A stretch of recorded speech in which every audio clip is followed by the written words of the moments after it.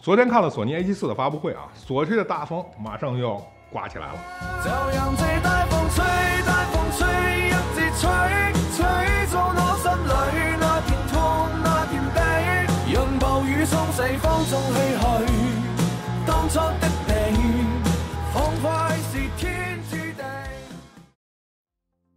作为一个资深索黑啊，我就来跟你分析一下，目前这个阶段 A7 四到底值不值得买？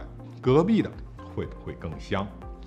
一六九九九发售肯定要开始溢价，韭菜们你们脑袋别热啊！我来给你们分析一下，三千三百万像素，S 三五下四 K 六十 P，全画幅下四 K 三十 P，支持四二二十比特，焦点图对焦辅助功能，增加了 PP 十一 S 一套，这些更新啊算是看得见的。摸得着的呢，就是模式切换旋钮下方增加那个拍照、视频升格的快速拨盘，但我不知道拍照模式下的 PP 值这次是否学会了自动关闭呢？没了，这些就算是看得见、摸得着的所有更新了。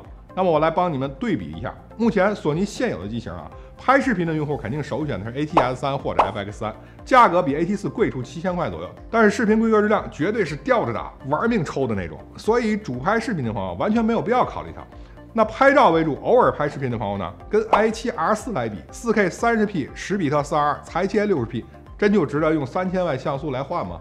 跟 A7 三来比，多了九百万像素，4K 30P 十比特422裁切 60P，也就这点东西。当然嘛，升级嘛，你手里有 A7 三，如果还能卖八千块的话，那再添个九千块，升级九百万像素，你自己想香不香吧？都说了是偶尔拍视频的朋友啊，你对升格有那么高要求吗？你看得出四二二十比特和四二零八比特的区别吗？偶尔拍个视频，弄个 PP 二、PP 五啥的，直出它不香吗？别惦记那 PP 十一啊，它跟 FX 六、FX 九的 S 音烫根本不是一码事儿。别忘了 ATR 四六千一百万像素，它可有可能跟 Number One 的一亿的单像素面积相同啊。那再来看看售价，新机发布不加价就不错了，你就别想着降价。所以 A 七四肯定是一六九九九加。那 A 7 R 四呢？目前价位在一万八上下。A 7三京东旗舰店预售幺幺七九九，某宝文博相机啊也就一万出头。双十一呢应该还有优惠，所以拍照为主的朋友，你真的应该考虑清楚啊，你到底需要的是哪一个？不过索尼就有这一点牛逼啊，保值时间比谁都长。如果你首发能抢到一六九九九的话，用个半年再卖掉，最多也就赔个五百一千的，也许搞不好有可能你还能赚钱。哎，这谁说的准呢？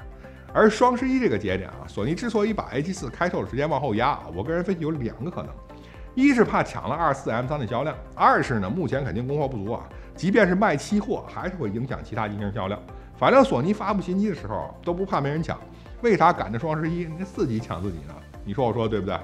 我突然想到 A7 四还有一个优点，对，可以用 CF-Express Type A 的卡啊，这样呢拍照片就不会像 R 四那样需要等缓存了啊。不过少了三千万像素，ST 应该也不用等吧。还有就是直播美颜了，这个对于姑娘而言啊，毫无抵抗力。本来我以为发布会是我没听清楚啊，最近有点耳背。但是看了各平台公众号写的，也确实是一样的文案。4K 15P 的直播是个什么鬼逼参数啊？我没上过学，你可别骗我。